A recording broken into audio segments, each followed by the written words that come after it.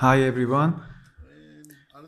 This time I will record a more entertaining video. This will be a short one. Sometimes I chat with patients who come to my clinic. I ask them who referred them to me or how they heard about me because I do not advertise on Google.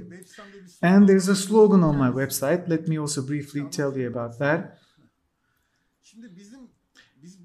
Well, I started undertaking penile enhancement procedures in 2004. I had one or two cases in the first year. There were two or three in 2005. Towards 2010, the number of patients began to increase. However, something interesting happened. In 2010 and 11, the number of cases exploded. I didn't understand why. It was really surprising. I noticed that patients were coming in from everywhere. When the number of cases exploded, I stopped doing rhinoplasty. No surgery. I abandoned rhinoplasty in 2010 or 11. It was an interesting development. I couldn't figure out why the number of patients increased suddenly. At that time, I was not advertising, nor did I have a website. I was not publishing stories in newspapers. I did not go on TV for this subject. So I was really wondering how so many patients came in. Because the events went like this. In 2004, the first patient I operated came for follow-up examination. After the final examination, we bid him farewell. And after that patient, I thought, this field of surgery will not grow. First of all, the surgery site is not visible. No one will see it. The patient will not show it. It's the genital area, right? No patient will talk about undergoing penile enhancement. So this is something to be kept secret. That's why I thought this field of surgery would simply not grow. It was not possible to advertise. You can't go on TV and talk about penile enhancement. But despite this, the number of patients suddenly peaked in 2010 and 2011, and patients from different places started to flock. I did not have a website, I did not appear on TV, I did not advertise on Google. So where did these patients come from? Two or three years passed, I focused on penile enhancement procedures. I stopped doing rhinoplasty. I haven't had rhinoplasty patients since then. A medical representative visited us. He promoted his products, we purchased something, then we had tea and started chatting. Then I talked about the situation. I told him that I now focused on penile enhancement. I said that the number of cases suddenly boosted after 2010 and I still could not understand why. I just couldn't figure it out. The representative said he knew why.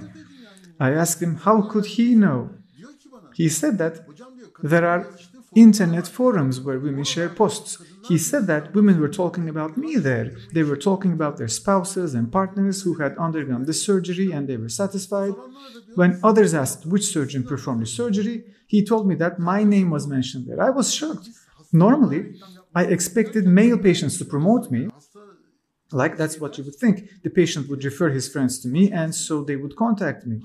Well, it was not the patients, but their partners who advertised for me. It was really interesting.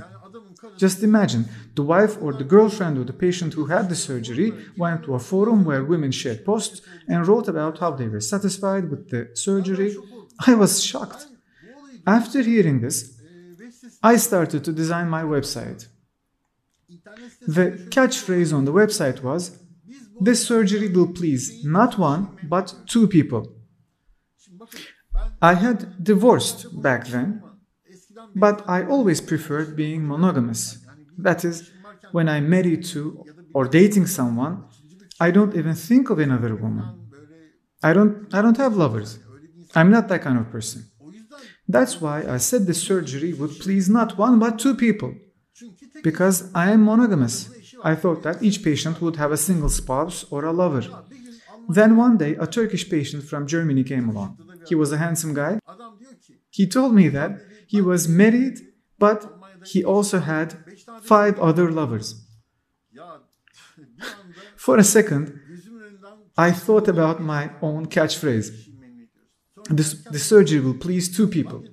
I wondered if I was the only monogamous idiot. The man had five lovers. Besides, he was married, five girlfriends, himself and his wife, one surgery to satisfy seven people. For a moment, I thought I had been so naive. I would not satisfy not one but two people. Two, really. The man had five girlfriends apart from his wife. And that catchphrase suddenly seemed very stupid to me. So I changed the catchphrase. When you visit my website now, peniscerrahisi.com, you will be welcomed by the slogan, a surgery that satisfies more than one person. So this is the story of that catchphrase. Actually, looking from a broader perspective, that is the truth. Many people have numerous lovers. Married men have lovers and so on. So, simply with a single surgery, you will satisfy more than one person because this surgery is about sex. As such, it concerns a minimum of two people, right? Or maybe more. It's not something like rhinoplasty or an otoplasty. Otoplasty or rhinoplasty only concerns the patient. The others stare from afar. It has a visual aspect, but penile enhancement is totally different. It involves at least two people and it has a tactile rather than visual impact. This surgery aims sexual satisfaction. I've already talked about that before. This surgery is described incorrectly even in medical textbooks. Books always describe the surgery visually. They say fat is injected subcutaneously, blah blah. But in fact, the patient's feedback showed me that the surgery will be incomplete in that manner. For instance, one of my patients told me this. After surgery, his girlfriend grabbed his erect penis from its base. She felt that the base of the penis was thin. Why? Because the penile structures extends into the body. Since then, when I inject fat into the shaft of the penis, I also inject fat into that inner section. Although not visible from the outside, it should feel full when grabbed. Okay? As such, the perspective in medical textbooks is misleading. They describe the surgery something like rhinoplasty or otoplasty. However, it's different. It has a tactile impact and concerns at least two people, sometimes even more. So, it is really interesting stuff. Well, we always learn about our shortcomings and mistakes through feedback from patients. And that's also how I changed that catchphrase I guess I was quite naive for a long period, and now, however, it has been updated. See you.